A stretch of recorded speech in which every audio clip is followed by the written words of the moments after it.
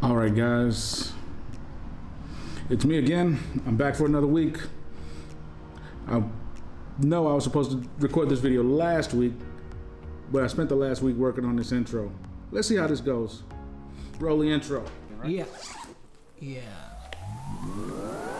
I think that's it.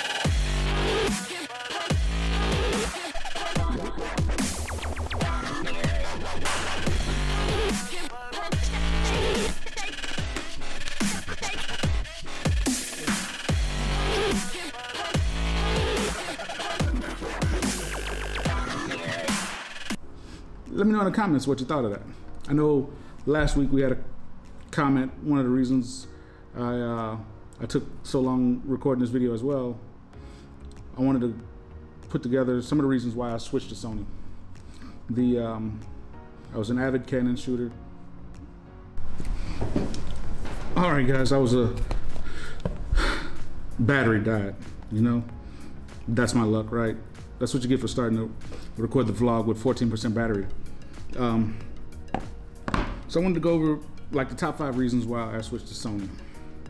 Um, one, Sony was a consumer electronics company, right?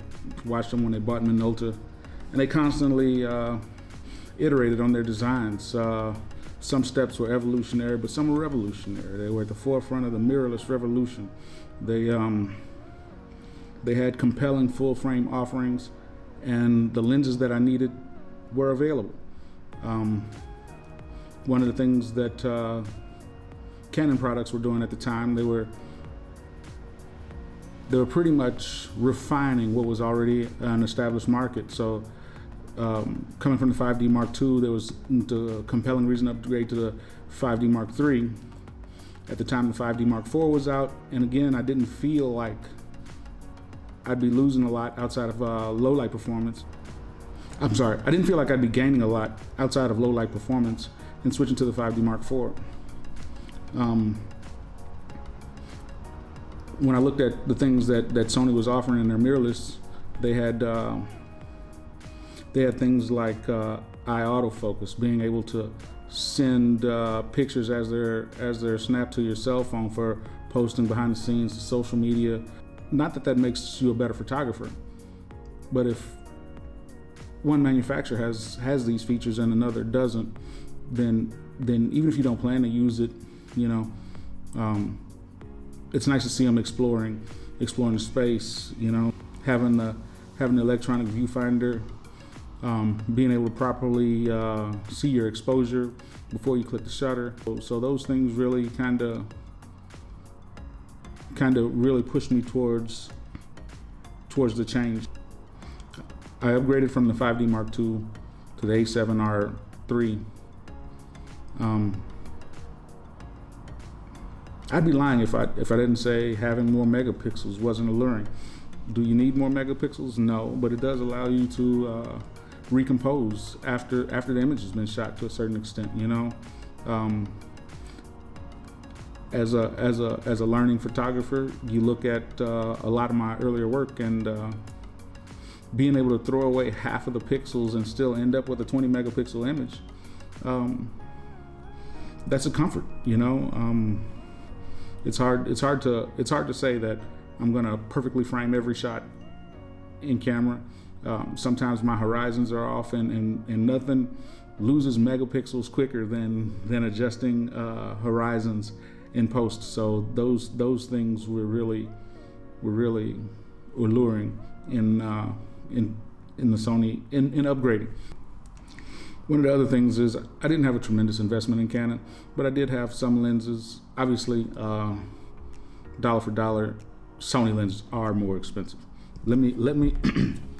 I want to say this to everybody. Sony lenses are expensive. So if you're coming from Canon, there are a lot of adapters that allow you to use your current EF lenses on the on the Sony FE mount.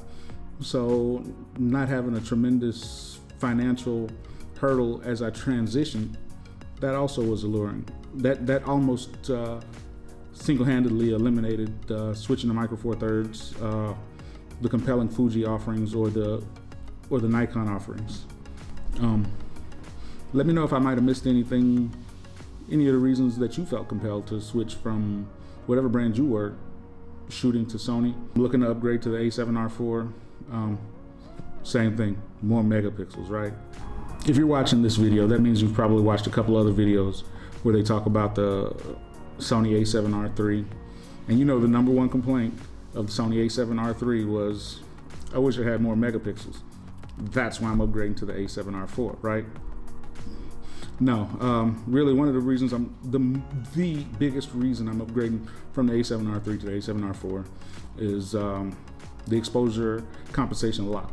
Um, I, I'm not unhappy with the size of the body. You know, hey, the grip's a little bit bigger.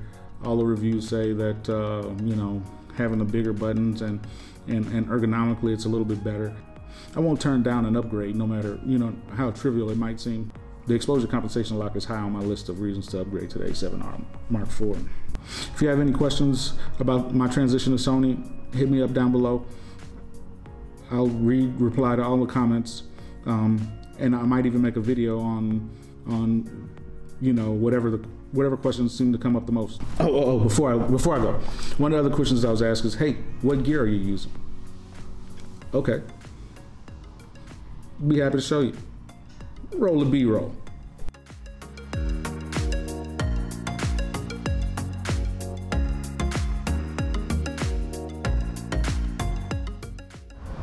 Also, this is my first official first official episode, episode one, season one of the of the vlog. I'm working on coming up with a title. If you guys can think of a better title title than absolutely nothing that I have right now, throw that in the comments as well. And and don't be surprised if I rename the vlog to whatever you guys suggest. Oh, and before I go, I want to give a shout out to Fedora Nation. Find the right gear that works for you. Don't give up your dreams and never harass your models.